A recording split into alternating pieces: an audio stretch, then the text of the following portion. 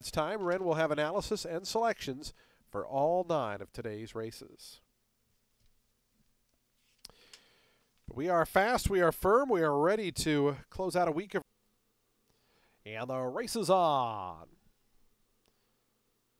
Start toward the inside. Icalypso is out quickly. General Battle Axe showing good early speed. Those two 1 2, and joining them from the outside, Red Ren away in third. It's going to be Icalypso just in front of General Battle Axe. Red Ren now makes it three in a line. That trio goes two and a half ahead of Frisante, who's all alone in that fourth position. Break of three more then. Back to Cuban Thunder, who's down on the inside. The favorite is fifth in the early going. Gavin Brody, that one's outside in the gold colors. To length and a half more to Benvolio, who's at the back. As they wide on to the back stretch. It's Icalypso and Ronnie Allen Jr., long shot leader in front three quarters of a length through an opening quarter in 22 and 3. Right in that second spot is Red Ren. It's three more then back to General Battle Axe. Length more back to Frisante, who starts to make some inroads. Is going to move down inside into the path of Cuban Thunder there, who's still back fifth. Right to that one's outside is Gavin Brody, and still at the back, Benvolio. So they have three and a half furlongs left to go, and up front, Icalypso continues on. Icalypso through an opening half in 46 and 4. They go to the far turn. Icalypso's lead is down to a length. In the second spot, Red Ren. Frisante starting to move up inside of General Battle Axe. Trying to follow that move is Cuban Thunder. The big favorite being pushed along to keep up right now is still about three and a half behind.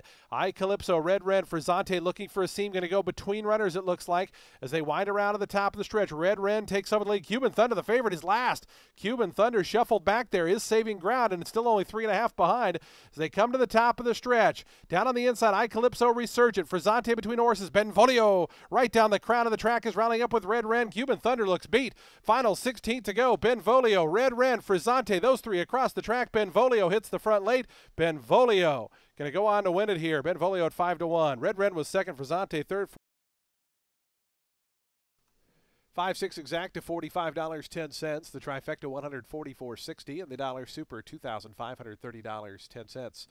Nobody had the high five, so that will carry over of nine thousand eight hundred eighty three dollars. It'll carry over to the third race. There's no super high five in the upcoming second with the scratch of number one Lucky Clover. So ninety eight eighty three carries over into the third race. Race two is coming up next in 21 minutes at 12:48 p.m. Race number two here, Tampa Bay Down. Scratch number one, Lucky Clover.